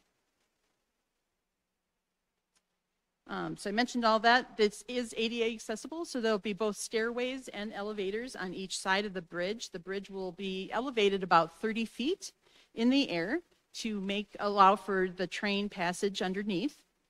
Um, and as I mentioned, there'll be landscape plazas on either side, as well as public art on the bridge itself and in that area. Really, the purpose of this project is to provide a safer crossing for those rail tracks. As um, we've heard in other situations around the metro area, as well as other parts of the country, um, pedestrians can often get caught between railroad crossings in various ways, get caught on the tracks, as well as vehicles, and this really provides for the much safer crossing of that, especially from the south side of the rail tracks. So this allows for all types of non-vehicular access up and over the rail tracks to that RTD rail station. And it really reduces the um, travel distance for all of those uh, pedestrians, bicyclists, et cetera. Right now, they would have to go out to either Ward or to Tabor Street and go around or across at the grade crossing of the railroad tracks. This way, they're traveling roughly about three quarters of a mile less distance. So the land needed for the project, we have 14 um, separate parcels from various property owners.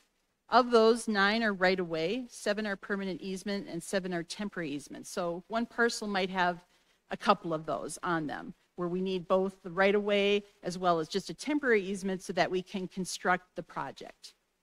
That after construction is over, those temporary easements get uh, basically go back to the property owner and we no longer need them. So it's just for the during the period of construction that we're required to have those temporary easements. And then we're planning right now is to vacate a portion of city right of way. And I'll show you that on the map here, just going back to that real quick. Um, that's near that 49th Avenue where the drop off point is. We're actually moving this a little bit um, further to the west, and some of this land can be turned back to the adjacent property owner to limit the impacts that we're having on their property.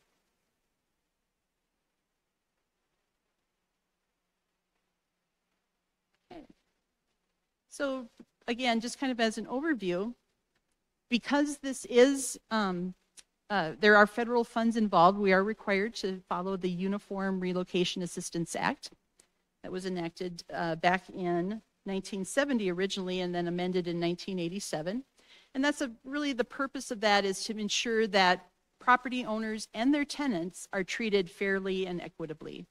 So oftentimes, you know, there's um, feeling perhaps that we're coming in and just taking it, taking it, you know, with uh, trying to get a deal, if you will. And there are processes that have been set up through the federal government specifically for transportation projects through the Federal Highway Administration that we're required to follow to ensure that they're treated um, fairly.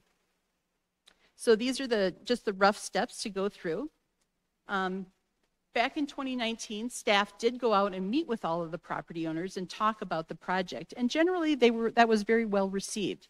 So especially along the trail portion, which is a very steep slope, again on that red line, um, by perhaps uh, we'll at least ask the question would they be willing to donate the land to us?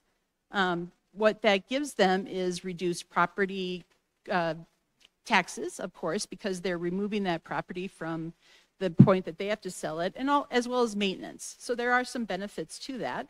However, we are required to let them know that they are they can be um, compensated for that. But we'll see. We're going to take that as a first step. Then we go through the process of actually informing them what the what we feel is the value for their property. So we get any pro, um, land that's valued over about $25,000, we will go out and hire an appraiser and actually do an appraisal of that property. And then we will send that letter to them, notifying them that we intend to acquire this property. It's now been five years since we first made that uh, initial outreach. And we will share in that letter that city appraisal, what, our, what we feel is the fair market value, and then start that negotiation process. So we give them, um, I'll talk about the incentives in just a minute, but we give them that initial offer and say, hey, you know, we'd like to come talk to you, explain the process, and then begin those negotiations to the point where we're trading information, we're updating them, we're answering all of their questions, and then hopefully reaching an area where we can have a final offer um, and where they would accept that and that we have received the land. If we aren't successful, then we'll talk about the eminent domain process in just a minute. So again, really our overall goal is to make sure that we're entering into good faith negotiations that result in hopefully a consensual agreement, that they feel that they've been treated fairly and that they're being compensated fairly for that property. In our initial negotiations, the real estate specialists meet and talk with the landowners. Um, and again, it's really just a, talking about, you know, how that offer comes to be, the appraisal process. We also um, allow them to get a counter or get an appraisal of their own that we have to pay for. If they don't feel like ours is fair, they can um, certainly take uh, advantage of that. We can also offer them, and we're planning to do this, we did this on Wadsworth, is offer an incentive. So we up the price and our what we feel is the fair market value, up it a little bit to say if you sign within 30 days, we'll give you this much more on the property. And what that does, it reduces our costs, it ensures that we're getting that property and they feel like they're getting a little bit better deal out of that.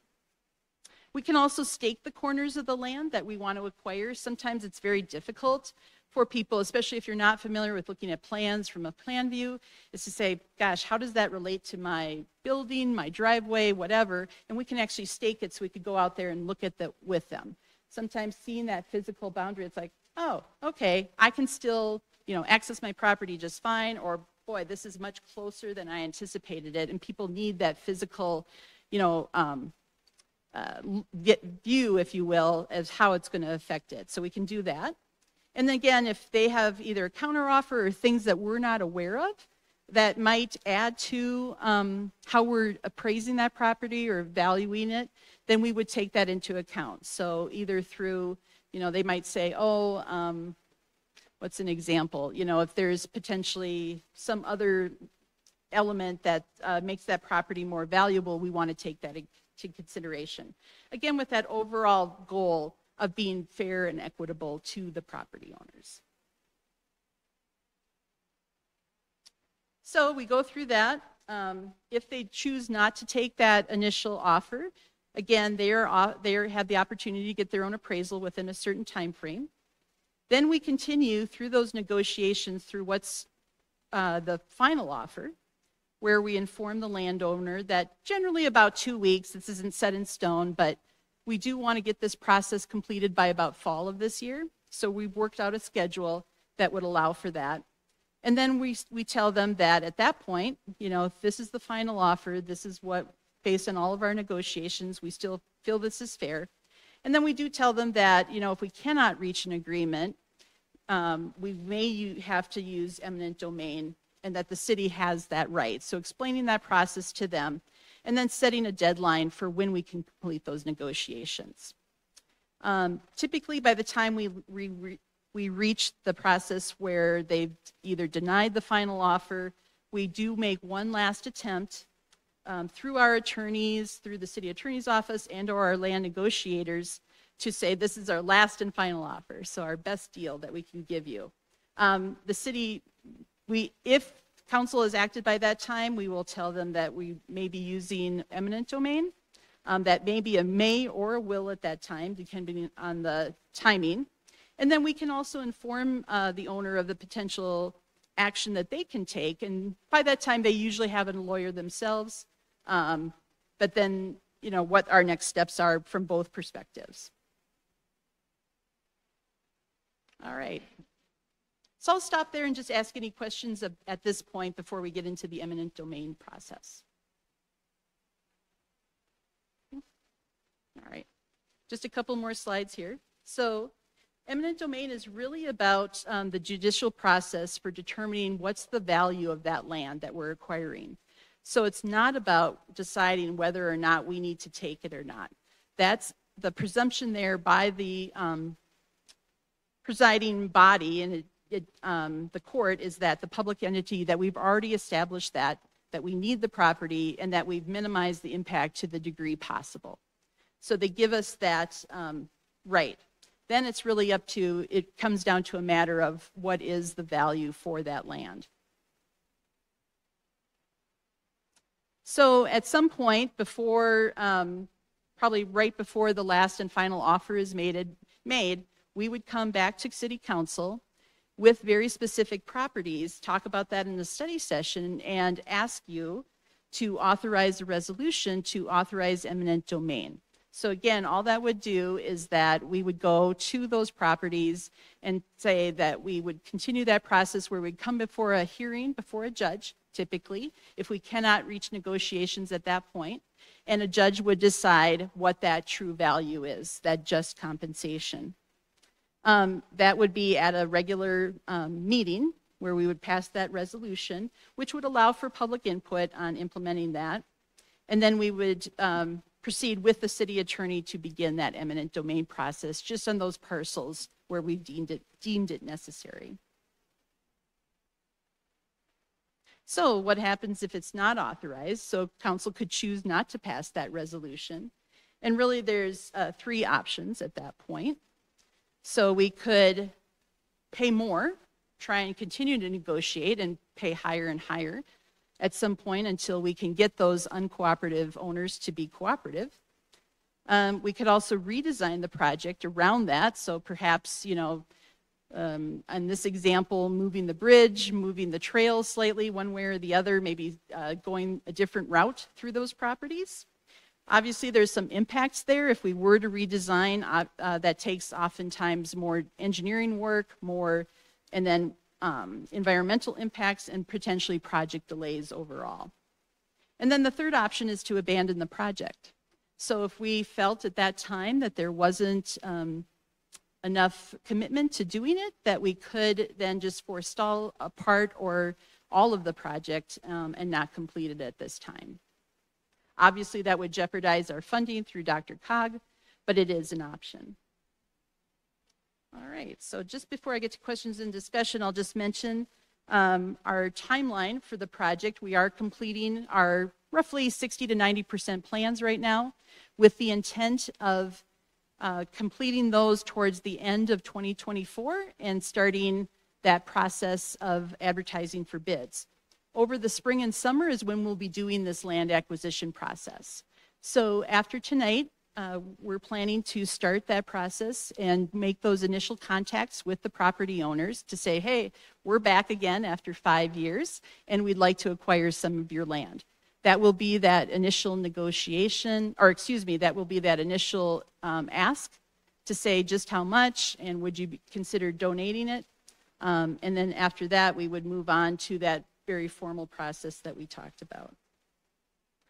Our overall budget um, is roughly over, just over $18 million.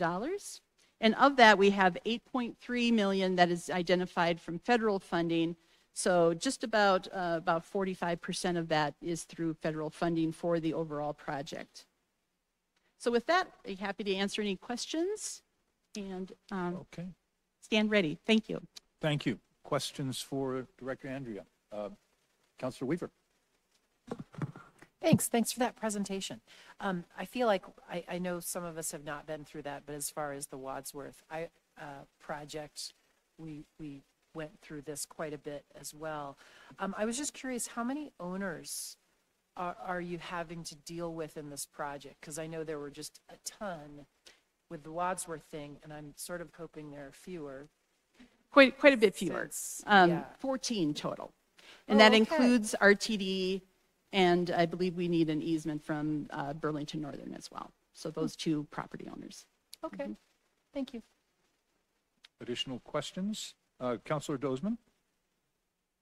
Thank you, uh, and I appreciate just kind of the overview of that process. Um, and the, do you, do you anticipate owners, landowners being uncooperative, and that's why you felt the need to review this, or is this just so that everybody's kind of on the same page as to the process that you're going to be undertaking? I think both.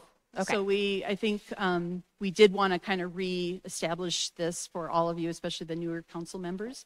But also we think that there is at least one property owner that we may need to do further, um, more intense negotiations with who may not be accepting of the project. Councillor Larson? Thank you, Mayor. Um, It, it, it really does sound like you guys have done your homework on this and, and uh, uh, the- kno- knowing the efficiency of our staff, um, it will move along according to the schedule. I, I certainly appreciate that. Uh, If, if you wouldn't mind though, I'd like to, for my benefit as a, a freshman counselor, step back and um, describe some of the, describe uh, sort of the goal, the reason we're doing this in the first place. Because I understand the, why you'd want a bridge over uh, the, the tra- the terminal station there. But the trail uh, goes down to the frontage road and ends there, and then there's a pedestrian crossing. Um, There are no, there's no parking lot down there. There's a bit of a, a- a- on the other side of the frontage road, a bit of a a downslope. Um, wh- Where are people expected to go? Certainly, yeah. And I think uh, maybe I could have done this a little bit uh, broader, but there is intent to develop more housing in this area, as well as potentially on the south side of the frontage road there, a future park location. So um, it's kind of a chicken and the egg. So if you build it, they will come.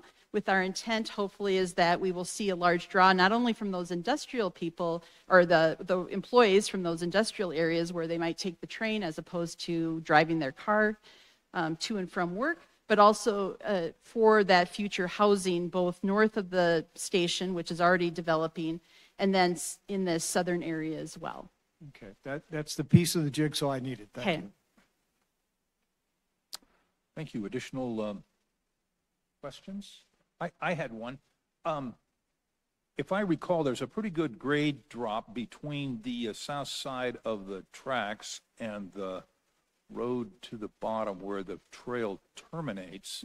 Um, Is that, do we have any issues with uh, maintaining an ADA compliant uh, path of travel?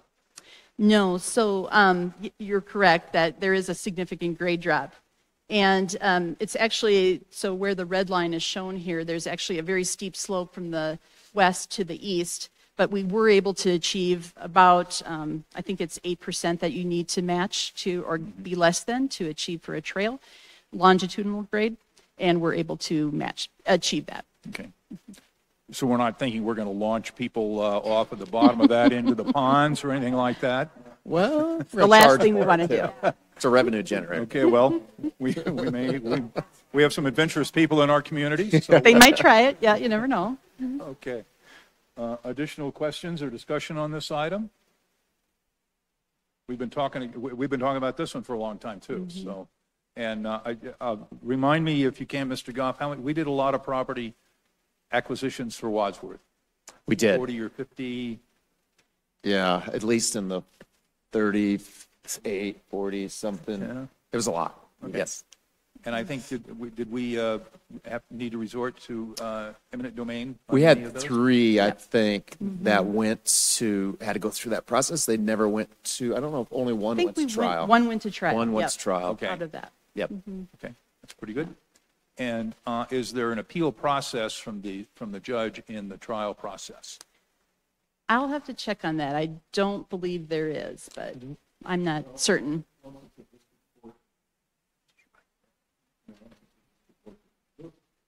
District court decision, either as a result of a trial or um, a, uh, a commission, you know, the appoint three members, becomes a district court order. I'm not the condemnation expert, Joe Rivera at our firm is, but like any other district court order, it's appealable. And I think I've seen, you know, cases by the Supreme Court and Court of Appeals. Uh, But typically, you know, it's all about value. There's two, you know, there's two issues in a condemnation case. Do you have the authority to condemn? And here it's really clear because it's a public rights of way. Sometimes there are other kind of weird public uses that are quasi-public and, and that challenge is raised, but here there's no question. And what's the value? And so on appeal, it really would only be value and the appellate court uh, primarily relies on a determination of fact made by the district court. You don't have fact trials in front of the appellate court. That's why the, the- the appeals are rare, because it would have to be some kind of procedural error at the district court level that would, that would be the basis for an appeal. So Okay. highly unlikely. All right, thank you. And uh, Counselor Hultin? Thank you, Mr. Mayor. Remind me on Wadsworth, um, the eminent domain process, if I remember correctly, this was before I was seated on council, but council did not initially authorize eminent domain as part of the negotiation process. Um, and so the city had to go out and go through a lot of the iterative steps without authorization for eminent domain. Am I remembering that correctly? Correct. We had to come back um, when we knew we needed to actually take that last step of eminent domain and get approval. Um, I think staff originally asked for that blanket approval at the beginning. So, um, so that when we, just to keep things moving, so that we, when we, if, if and when we needed it, we could just keep moving. But the council at that time um, asked to come back, asked us to come back um, when we got there. So, I mean, is there, I mean, in retrospect, is there any thoughts on not having that tool and how that impacted what we had to pay for properties in the negotiation? I'm not sure. It, it took longer altogether, but uh, I'm not sure that, that the city ended up having to pay more necessarily. But I will say that for your negotiating team, having that authority at the outset is really something nice to have in your back pocket, because there you are sitting in the kitchen, in the living room, or conference room with the property owner. And it's really kind of initial stages, but, you know, the property owner knows that you've got you've got everything you need to carry it all the way through to the end. And that, you know, depending upon the nature of that conversation and the person and the environment in the room, that can be helpful. And looking, I mean, it's a little bit hard to tell from the aerial, but unlike Wadsworth, we're just looking at taking just portions of people's lots and not like substantially impacting their current usage. Yes, there's not um, whole, whole uh, parcels being taken. Probably the most impacted one is this triangular portion right underneath the bridge right here. I believe this is all one parcel. Okay. So this kind of um, extended portion down here is the most impacted. Okay. In the trail portion, yeah, that it's just a sloped area. It's not take, it's not even property. Um, it's or usable property. Yeah. Okay, all right, great, thank you.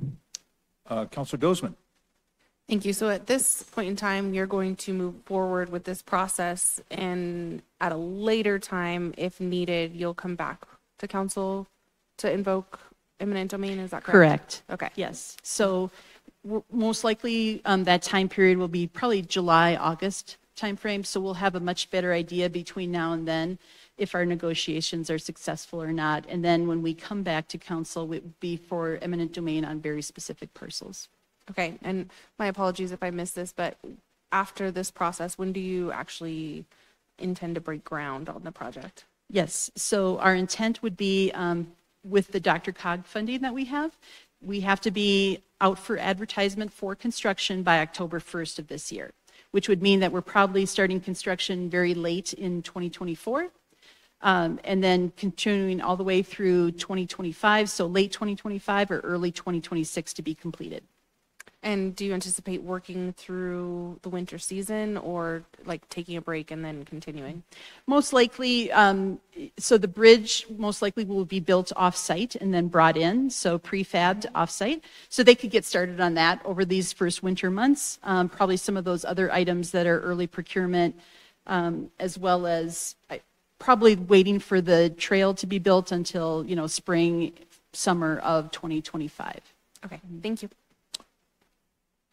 Uh, Counselor Larson. Uh, Just w- one small thing here on, uh, as you prepare and finalize the documents here, um, make sure you've got the correct reference because I believe it's 49th Place and not 49th Avenue. Thank you. Mhm. Okay, Director D'Andrea, thank you so much. That was a great presentation. We're going to move now to agenda item number two. This is the discussion on the 2024 building code updates.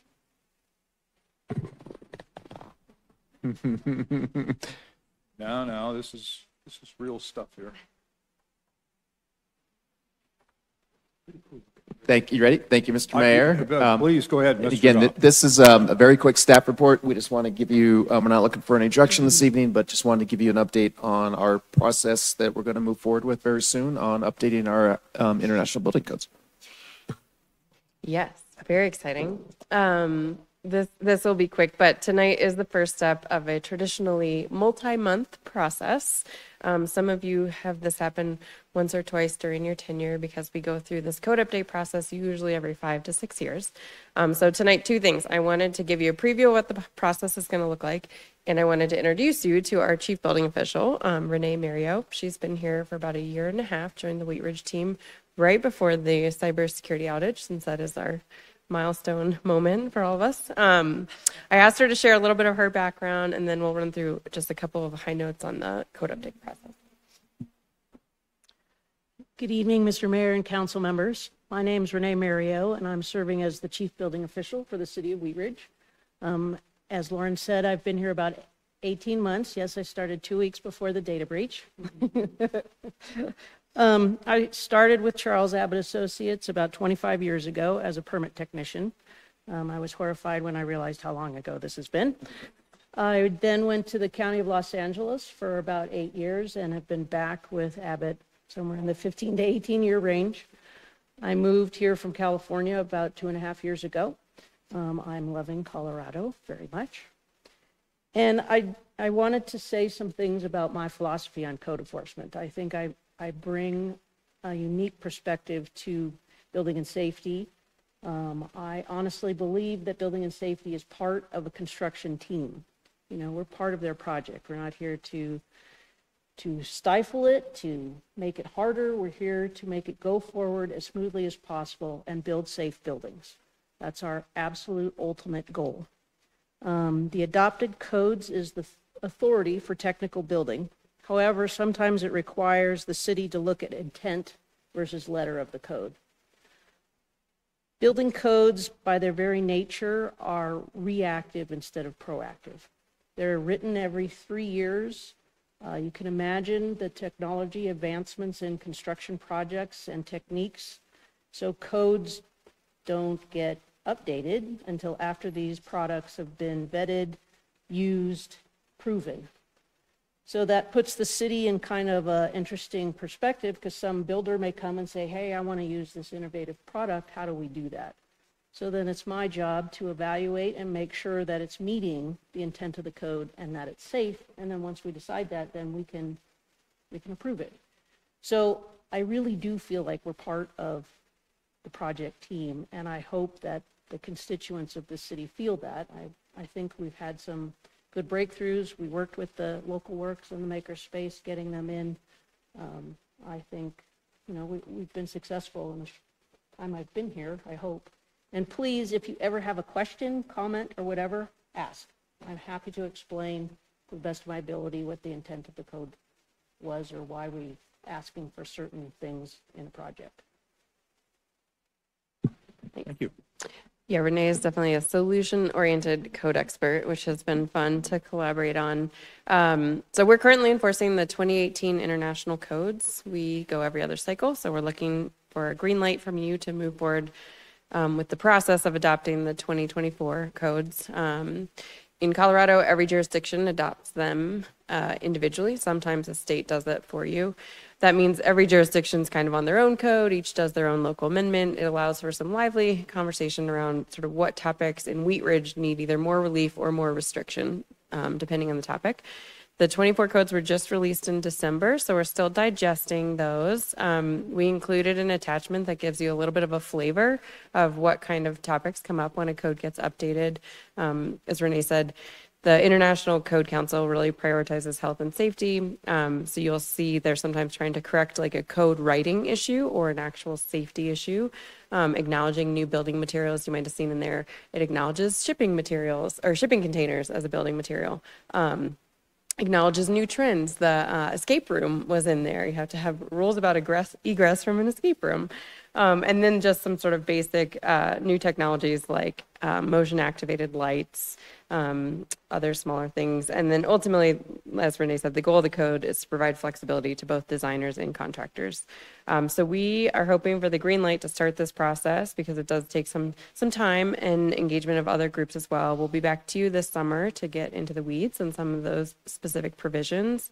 Um, we'll engage our building code advisory board. They often get um, sidelined through most of the year when there's not an issue, but they're they're very very much engaged in this code update process. They bring an expertise and a perspective um, that supplements some of our other stakeholders. Our fire districts they have strong opinions on what we should be amending or not in the fire code. Um, we usually end up reaching out to certain stakeholders, contractors, or developers, depending on um, the local amendments that we want to talk about. So, again, tonight, really just um, seeking your simple direction on um, press, pass and go, um, and we'll be back to you in a couple of months to get into the details. Thanks. Okay, thank you very much. Questions from council? Uh, Councilor Hultin. Thank you, Mr. Mayor. I, maybe I'm just a shade off of uh, Councilmember Weaver's excitement, but uh, it dawns on me this is my third update I think I've paid attention to in the city. I've had several reminders tonight how long I've been paying attention in the city because it's my second Parks and Rec master plan. um, uh, one one request for consideration. Uh, you have a list of stakeholdering, and um, I would love for you to consider sustainable Wheat Ridge in that a lot of code amendments are really uh, in line with what we're trying to accomplish through our sustainability efforts. And we just today, the mayor and I met with the contractor who's working on our sustainability plan update and a lot of the, the goals and ambitions that really are targeting greenhouse gas emissions come through our building standards as well as electrification of our transportation system. So um, it would be great to involve them as well in that development of what we're looking at and what we'd consider for amendments. Yeah, thank you for bringing that up. Um, one of the other plans we are doing in this year's Choose Your Adventure in Wheat Ridge is the Sustainable Action Plan, and Renee is part of the internal staff team supporting that effort too, so we can make sure we're in lockstep. Their completion date will likely align with our code adoption timeline, so hopefully they complement each other. Yeah, thank you for bringing that up. Uh, Councilor Dozeman. Thank you. So, uh, with the 2024 uh, updates just being released, how likely is state legislation or other factors, um, you know, potentially going to change that? That's a great question. There are a couple bills at the legislature that we're tracking that are kind of one-offs, uh, like regional local amendments, I would say. They're not, um, they're they probably could have come up in any year, not specifically in response to the 2024 I codes. Um, so we will continue to keep tracking um, what's happening at the state level. The bigger issue that's in Colorado at the state level is the um, energy codes, and those will align. The 2024 energy codes align pretty well with what the Department of Energy is requiring. Anything else you're thinking on that topic? Yeah, the um, yes, I my today I'm feeling less worked up about state legislation today than last Monday. Um, my current approach is just to sort of wait and see and fold into our process, whatever wherever the state lands. Yeah. So what is the benefit of up, up, updating to the 2024 as opposed to the 2021? Oh, that's a good question. Um, one thing we didn't speak to in this memo is insurance rates, and homeowners' insurance rates actually do correlate to the building code adoption, um, building code version that your city has adopted. So if your city's building codes are too old, um, it could eventually impact your community's insurance rates. It's more complicated. We can get into the suites at some point if there's more questions, but um, it will do. It will be a benefit of us to go to the 24s. Mm, Half half of our peer communities will be doing the same. Yeah. Any other questions? Counselor Weaver? Uh, Actually, I don't have a question. I just wanted to welcome Renee, and I have just heard very positive things from neighbors who are doing building and just how great your folks are. Um, So thank you for that. And I, I just think it's, we're getting really good feedback out in the field of how this, those processes have been improving. So now I'm able to put a face on that process. So thank you. And, and welcome after 18 months. Um, And with that, can I ask for consensus on this? I don't think I've ever asked for a consensus before. Are there any more comments You or know, I- questions? If you want to, if you want to get consensus, they're going to come to this, they're going to come back with this to us anyway, but if you want to ask for. But then, don't you need, okay, I'm asking for consensus. Great. All right. Well- To give them the green light. Well, then do we have consensus to green light this program? All right, looks like we do. Thank you very much. It's a first for everything, right? Excellent. Okay. Well, you know, that, uh, that gets through our, our business items here. We'll uh, now go to staff reports. I'm sure we can wrap this up in an hour. or That's two, it. so- Yep, that's all we got tonight. Okay, and any, uh, any elected officials feel like they need to do, do some more speaking? Oh, Counselor I just Dozeman. wanted to say happy Easter and have fun this Okay, weekend. Very good. I'll, uh, I'll echo that and say thank you all for sticking around for this meeting. We will stand adjourned and see everybody back here next week.